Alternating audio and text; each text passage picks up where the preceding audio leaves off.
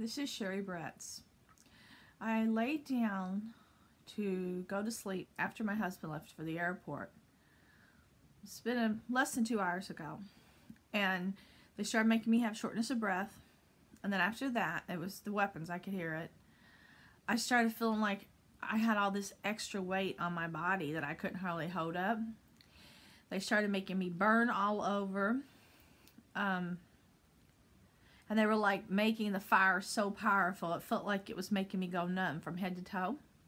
So i just keep briskly walking around and drinking fluid and everything else but they're trying to kill me. In louisville kentucky they are trying to kill me. Um, they've been attacking me for ages but this is all about trying to steal my property. That's what this is all it has to do with is is a land grab and they want money. So i'm just hey you just wouldn't believe what these weapons can do.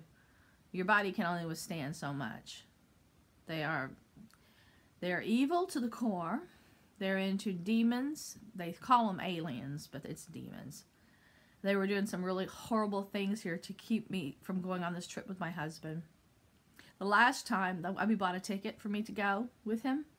The night before, they ruptured something in my calf Eh, I could just like hear a pop sound. I woke up in the night, almost went to scream. It looked like my calf was blue from bleeding inside. I couldn't walk on it. That's what they did. I, I documented. I put it on the internet.